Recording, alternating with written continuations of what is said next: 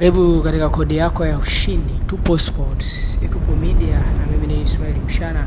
Twende tukaangazie yale yote yaliyonilima na viwanja mbalimbali vya michezo hasa nje ya mipaka ya Tanzania kwa maana ya Afrika na mabara mengine huko. Taarifa ya kwanza inayowahusu Manchester United ambapo kocha wake bwana Erik ten Hag amesema kuhusu Casemiro na Alessandro Martinez wameshaanza mazoezi muda mrefu na wanafanya pamoja na timu, japokuwa si kikamilifu, bado wanachukua tahadhari kabla ya kurejea uwanjani. Nadhani naweza kuchukua siku kadhaa au wiki. Taarifa hii kumuhusu kiungo raia wa Brazil Carlos Enrique Casemiro sambamba na the Butchers kutoka Argentina Sandro Martinez, urejeo wao katika kikosi cha Manchester United bado hafifu. Wiki kadhaa mbele huenda wakarejea kutokana na maneno ya mwalimu Erik ten Hag.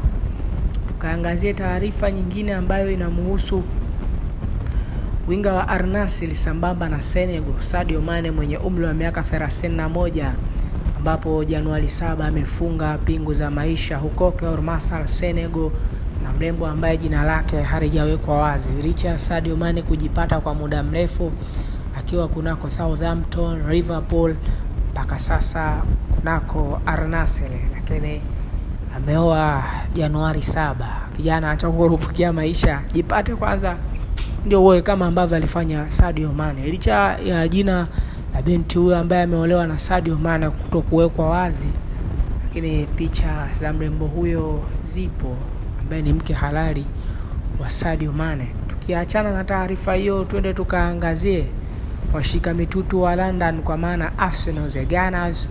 Ni kama wamekwama kunako England Premier League baada ya jana kupokea kichapo kizito kutoka kwa majogoo wa London, goli la kujifunga dakika 80 la Prior na goli la nyongeza la Luis Diaz, assist nzuri kutoka kwa Diogo Jota dakika ya tisini na nne.